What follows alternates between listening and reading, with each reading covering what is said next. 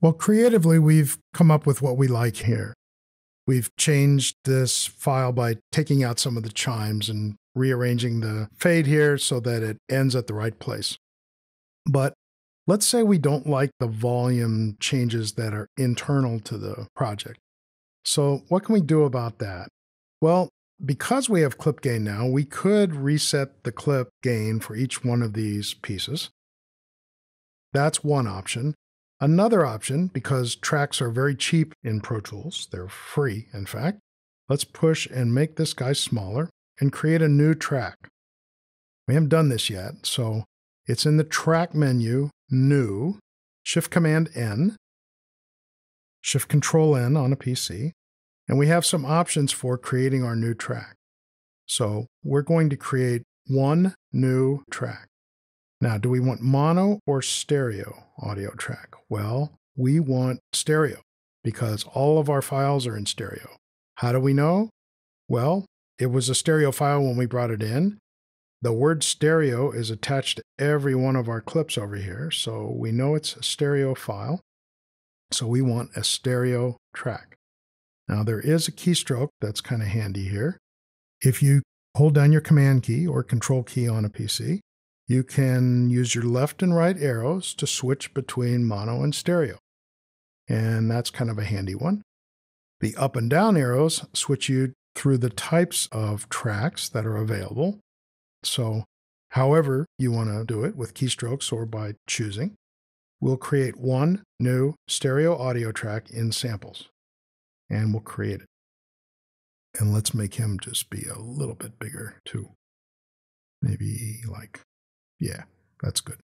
So, for volume changes that happen internally in a piece, whether it's a vocal or a chime or a guitar part or whatever, there are lots of ways to do this. You can write automation that changes the volume over time inside of a track, or you can just put new information on new tracks. So let's say that we felt that the little chain sound and the carillon needed to be a little bit louder relative to the chimes and the other chime. So, does that mean that the chimes need to get softer or the carillon needs to get louder? Well, to determine that, we might need to make a master fader. So, let's do that Shift Command N and make a new track again and make a stereo master fader right there in the middle in samples. And the master fader is the sum of all the tracks in your session, with the exception that anything that's muted is not going to go into the master fader. So it gets a kind of a different look. In fact, let's use a keystroke that we learned earlier, our command equals, to pop over to the mix window. And let's take a look at all the guys that are in the mix window. And the master fader has a different type of icon where the audio tracks have waveform icons, the master fader has this sigma, this sum. So it's summing up all the tracks that have come before.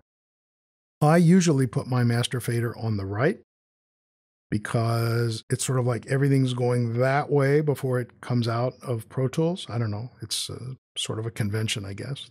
There's no law about it. You can put it on the left or in the middle, but it seems to make sense on the right. And there's no input really because its input is all the stuff in your session. So the concept here is that every track by itself could be okay in terms of its volume, but by adding them together, this one and this one and this one and lots of other tracks that you have, you could blow out your mix. So the master is adding up everything that it's hearing and seeing if you're still okay. So that's why you use a master. And you also use a master to see if you're putting out a decent volume. And by that I mean, let's see, let's resize this window so that we can see our waveforms and our master fader at the same time, sort of like that. So back here,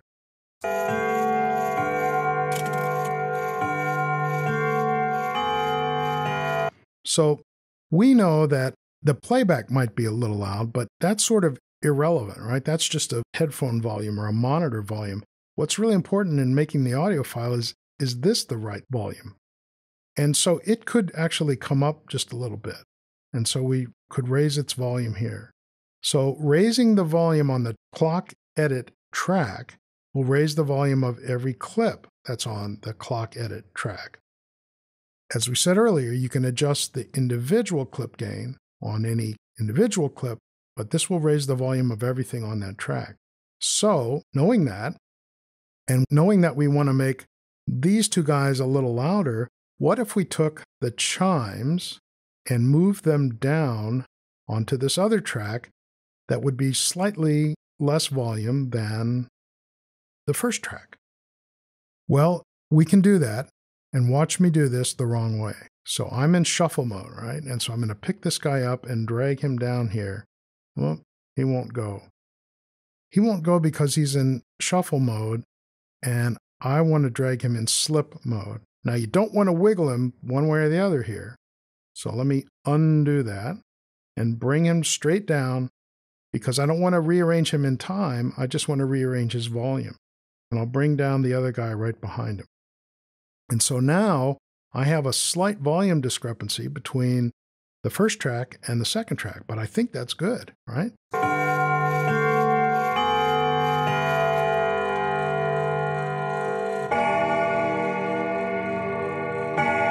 And now the volume is a little bit more compatible.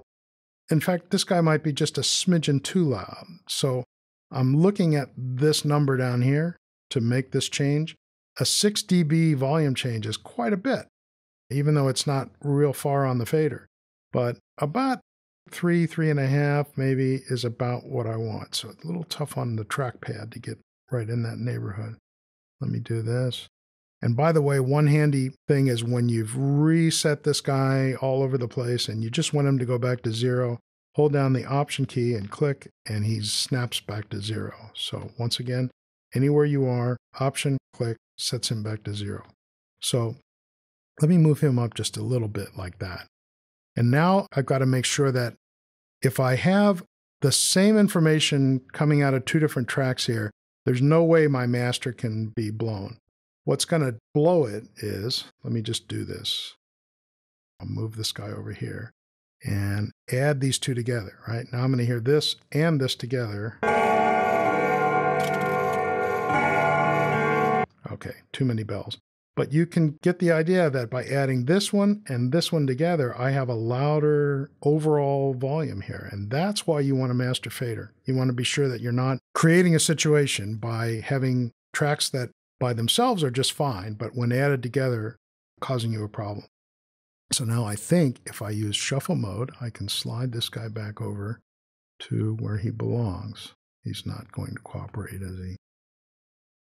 Well, I could delete this. If I delete it in shuffle mode, though, it snaps this guy over. So if I delete him in slip mode and leave this guy where he's supposed to be, and then go to shuffle mode, I still think it's going to do this. It's going to bring it over to there, right? And then I can use slip mode to slide him back down to here. Okay, now I'm sort of back where I wanted to be. So we'll call that clock edit and we'll call this the chimes. And now I'm obeying my own rule about being informative on the track names. So that's a bit about why to use a master fader and how to accomplish this edit with multiple tracks. Now, in the next movie, we'll explore how to consolidate and bounce and really export the various options for exporting this piece of audio that we've created and getting it to our client.